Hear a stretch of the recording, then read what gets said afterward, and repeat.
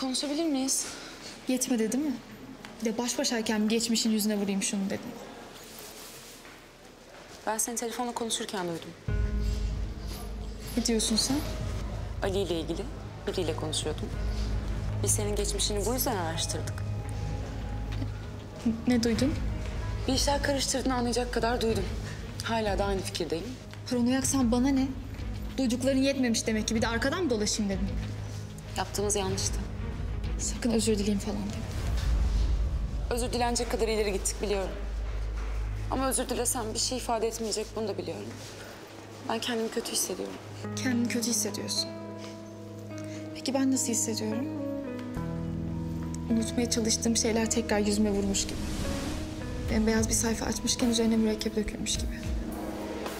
Üzgünüm. Günah çıkarmaya geldiysen başka kapıya. Bu kadar kolay kurtulamayacaksın sen. Peki. Böyle olacaksa olacak. Şimdi izin verirsen eve gitmem gerek.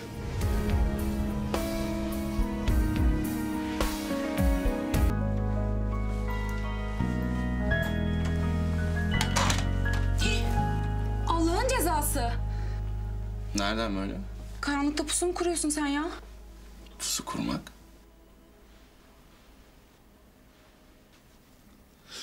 Bak bugün yaşanan bir olay geldi aklıma.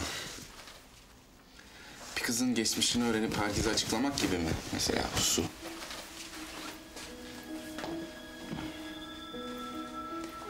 Kendimi kötü hissediyorum Ali. Tamam mı? Oy kıyamam sana. Sence... Sence Elif nasıl hissediyordur? Sen niye onu bu kadar düşünüyorsun? Terapisti misin onun? Çünkü benim yüzümden oldu hepsi. Bu yüzden olabilir mi? Ha? Yanlış yaptık. Yanlış yaptık evet. Ama ben haklıyım bunu biliyorum. Sana ne oldu ya? Sen hangi ara böyle oldun ya? Sana inanamıyorum. Ne oldu senin vicdanına? Ha? Ne oldu kalbine? Kör oldum. Kör oldum. Göremiyorum kör oldum.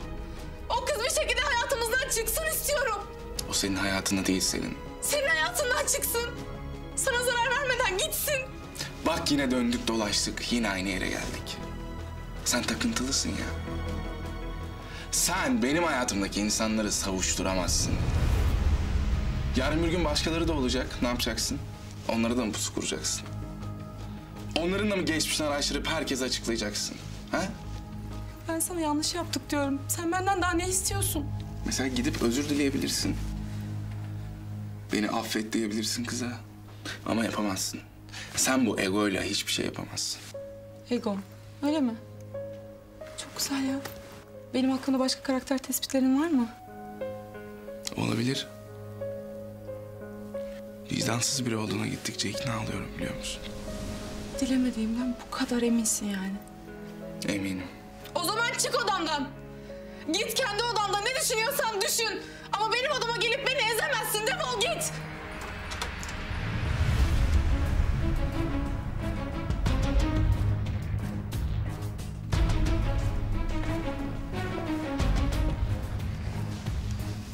Oluyor size?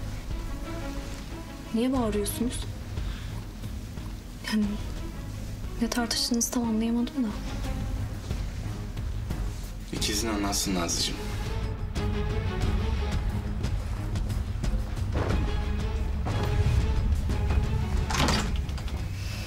Yani biraz duydum tabii. Ne oluyor Selin?